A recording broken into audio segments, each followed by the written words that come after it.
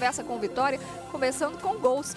Copa do Brasil Sub-20. O Vitória levou a melhor ontem no Barradão diante do Cruzeiro e agora está ficando bem pertinho já da próxima fase da competição. A gente vai conferir os gols, solta aí.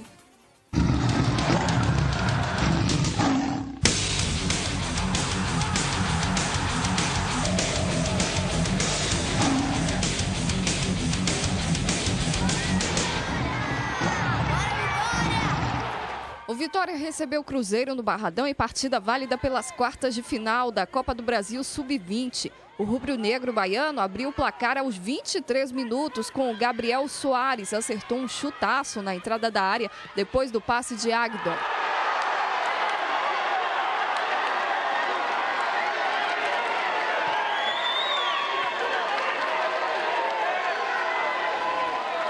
Ainda no primeiro tempo, o time baiano ampliou o placar. O zagueiro Alex tentou cortar o cruzamento e mandou direto para as próprias redes.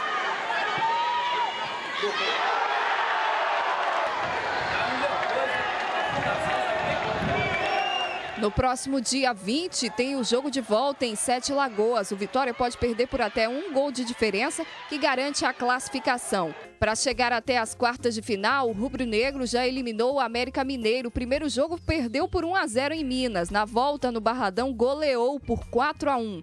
Os gols do Vitória foram marcados por Marcone, duas vezes, Alain Pinheiro e Agdon.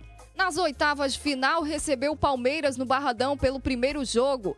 4 a 0 goleada, gols de Mineiro, Gabriel Soares, Rafael Fontes e Alain Pinheiro. Na volta perdeu por 2 a 1, mas garantiu a vaga. Se vencer, o Vitória vai enfrentar o vencedor do confronto entre Fluminense e Grêmio.